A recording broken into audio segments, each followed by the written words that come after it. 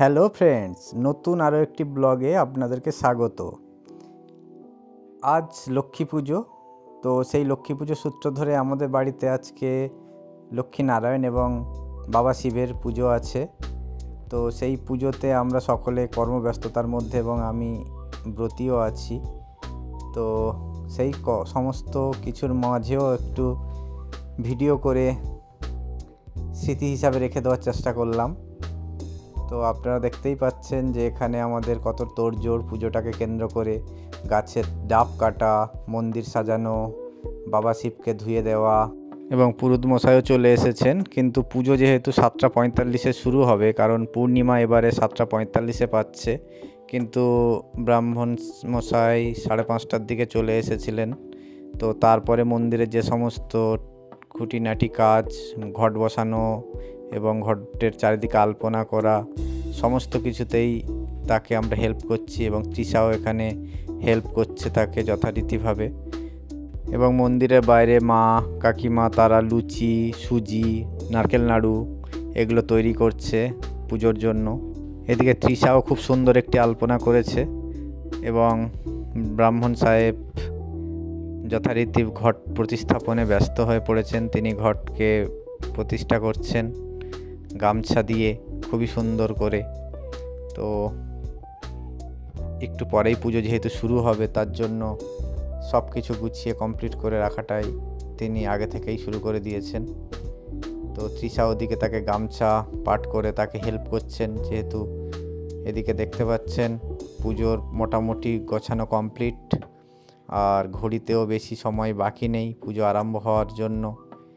তাই আমরা সকলেই আগ্রহ ও ধীর আগ্রহে বসে আছি, পুজোটা কখন শুরু হবে? পদ্ম ফুল, বাবা বিষ্ণুর, তো সেটা এখন বাবা বিষ্ণুর হাতে দিচ্ছেন আমাদের পুরোহিত মশাই। তো এভাবেই আমাদের পুজোটা একেবারে শুরুর মুখে চলে এসেছে। তো শিব ঠাকুরের প্রতিষ্ঠা সম্পন্ন হয়েছে। একে একে করে শিব ঠাকুরকে দুধ, গঙ্গা জল দিয়ে স্নান করিয়ে তাকে প্রণাম করছে।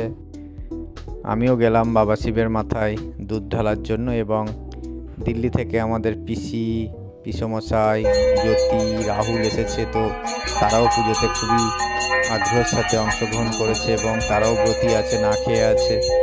তো এটা বাড়ির সকলের পুজো, তাই সকলেই অংশগ্রহণটা একান্ত কাম্য। তো আপাতত আমাদের পুজো চলছে।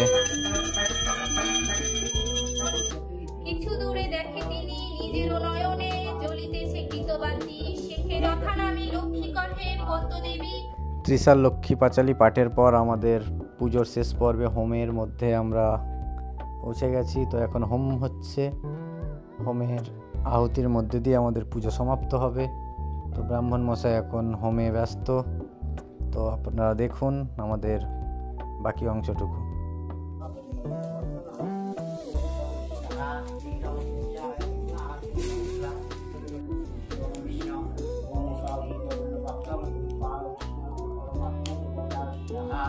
হোম শেষ হয়ে যাওয়ার পরে এবার যেটা কাঙ্ক্ষিত সেই পুষ্পাঞ্জলি, পুষ্পাঞ্জলির মধ্যে দিয়ে আমাদের এই পুজোর সমাপ্তি ঘটবে।